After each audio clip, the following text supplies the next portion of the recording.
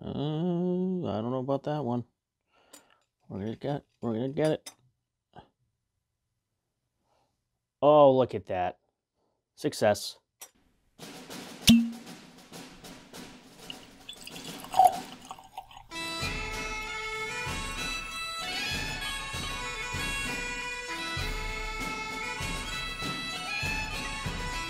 Hello and welcome everybody to Liquorious George. My name is George and today I'm going to be guiding all of you through my curiosity with the proper glass to drink your whiskey. You might be asking yourself, George, why does it matter what type of glass I drink my whiskey out of? Now yes, technically you can drink your whiskey out of any glass you have on hand. If you like to take your kid's sippy cup and drink your whiskey out of that, please feel free.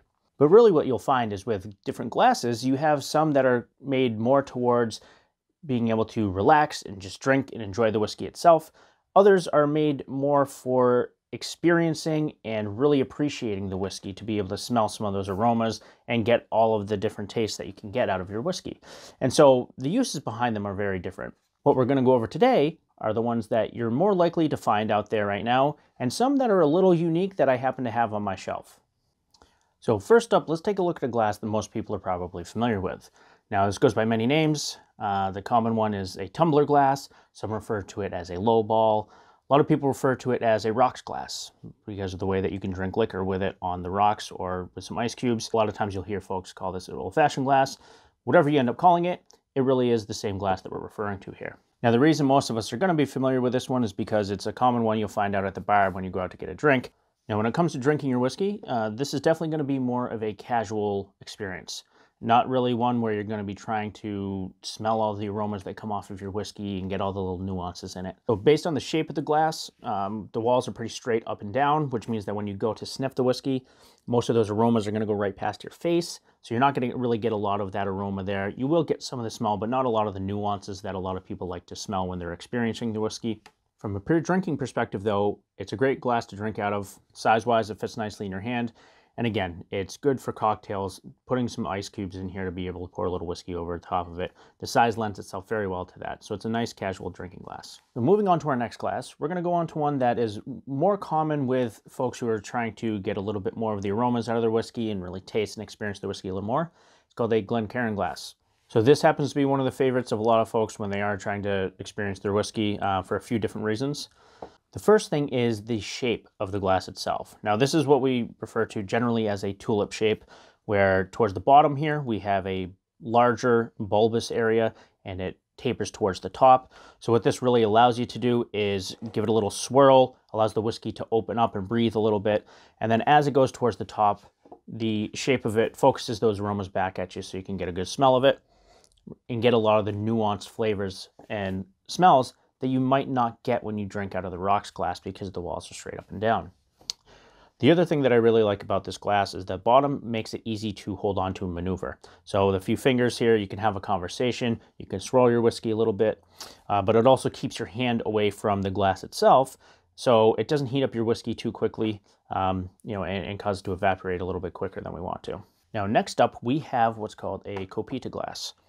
You can probably tell from the shape of it that it's geared a lot more towards being able to nose and experience the whiskey. So you might be familiar with this style of glass because it closely resembles a wine glass, maybe just a little bit smaller than the ones you're used to seeing. But many dessert wines are served in a glass similar to this in size, things like port or sherry. Uh, things that are served usually with a smaller serving size are served in wine glasses about this size um, and shape. So this one also has that tulip shape that we were talking about earlier, where it's wider towards the bottom here to let that whiskey breathe a little bit, and then tapered towards the top to focus those aromas right back into our nose. So this one here also has a stem at the bottom, which allows you to hold on to it here and keep your hand away from that whiskey again, you know, not to warm it up too quickly while you're holding on to it. So this is a style glass that you'll probably find for with folks who are really trying to appreciate the whiskey and get the aromas out of it. So something like a tasting room or if you go to a tasting event or something like that, you'll probably find these glasses there. Now this glass in particular comes with this neat little whiskey hat. Now, I know that's not the technical name for it, but I'm going to call it a whiskey hat because that's what it looks like to me, and I'm simple-minded. But what is nice about it is that if you are at a party or a tasting or something like that and you have to walk away, you can put this on top of the glass. It's going to hold those aromas in, so as that's evaporating, it's not going to let them go off into the atmosphere. And then when you can come back, you can take it off. Those aromas are still going to be there. It's going to be a little concentrated, so you're going to be able to take a good whiff of that and get all those aromas right there uh, from that whiskey. So another glass that I have here that might be a little more popular with the brandy lovers out there is what's called a snifter glass. Now, just because people might associate this glass with brandy doesn't mean that it doesn't make a good whiskey drinking glass as well. So if you look at the shape of this glass and you've been following along and listening so far, you'll notice that the tulip shape here is present as well. Uh, but this one has a very pronounced tulip shape at the bottom here, uh, very wide, letting that whiskey breathe quite a bit, and then tapering back up to the top. So I personally haven't used this glass very much uh, for whatever reason, but when it comes to drinking your whiskey in it, it serves its purpose very well. So being it so large here and really opens up the whiskey when you give it a little swirl. The other thing that I'm not quite a fan of with this glass, and maybe that's why I haven't used it as much, is that obviously you can see the stem is very small, so you're not really meant to hold it like that. Snifters are more meant to be held with your hand cupped underneath it like this. And if you remember from the other glasses that we were talking about, your hand being away from the whiskey and not warming it up as much, this is definitely going to transfer some of your body heat to that glass. So it's going to warm up the glass a little bit. So if you're worried about heating up your whiskey a little too much um, or a little too quickly while you're trying to experience it, this probably isn't the glass for you. So the next few glasses that I want to go over are going to be ones that I would say are a little bit more unique. And so they have little spins or differences with them that don't really fall into one of these categories, um, but they're kind of a hybrid of different elements of these.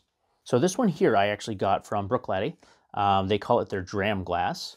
So what you notice with this one is that the shape is probably size-wise at least um, close to a tumbler, but it has a little bit of a defined shape and taper to it. So the bottom being a little bit wider, you know, tapering up towards the center here like a typical tulip shape, but then also coming back out towards the outside here uh, when it comes back to the top.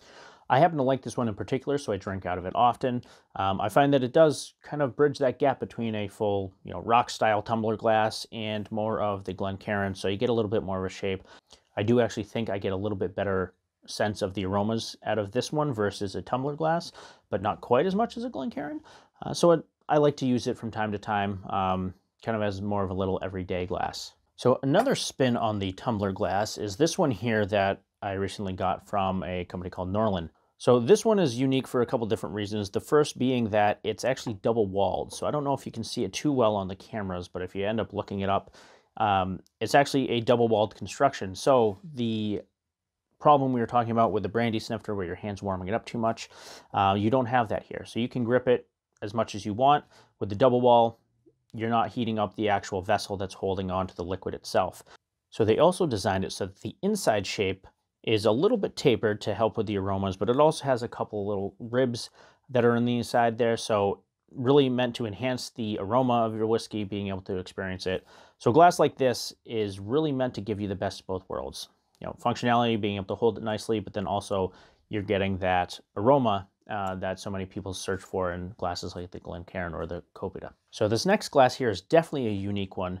Uh, this is called a NEAT glass. So NEAT is actually an acronym, stands for Naturally Engineered Aroma Technology. Tongue twister, great. This glass is specifically designed to be able to bring out the aromas in your whiskey, but disperse the alcohol vapors. So when it comes to the top here, the alcohol vapors kind of go out around your face, and you're left with just the aromas that are intended to be experienced out of the whiskey, and not that burn from the alcohol that you sometimes get when you bring your nose in very close. So I can say that after using it a few different times, I think it does actually work as intended with the aromas, so the alcohol isn't necessarily there as much, but it's a little awkward for me to drink out of. Maybe it's just me because my mouth is shaped really weird. I don't know. Um, but give it a try for yourself if you happen to be in the market for a new glass to try something out of, um, and let me know if it works out for you. Well, I've run out of glasses on my desk, which must mean we've come to the end of our list. Let me know down in the comments what your favorite glass is to drink your whiskey from. And while you're at it, go ahead and hit those like and subscribe buttons. Also, let me know what other content you might like to see me make in the future.